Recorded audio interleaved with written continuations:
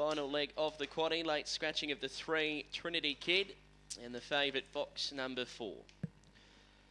Value clearly with the two now out to 41. Wowee.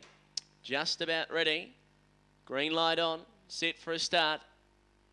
And away. Unbackable began okay. Had a bump early with Remain seated and going out quickly now from near the outside. The reserve French defence pounced on the lead from Mickey Rawson away quickly. Followed Johnny's return. Ace gone wild, then unbackable. Uh, well back top alcohol and Remain seated deep out. Getting up on the rail. French defence drives late at Mickey Rawson.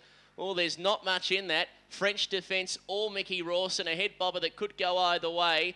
Uh, flashing late into third, unbackable a length away, being followed then by Ace Gone Wild. Johnny's return remains seated, and Top Alcohol last in. Really close to a dead heat this 1925, and the nine gets it. French defence.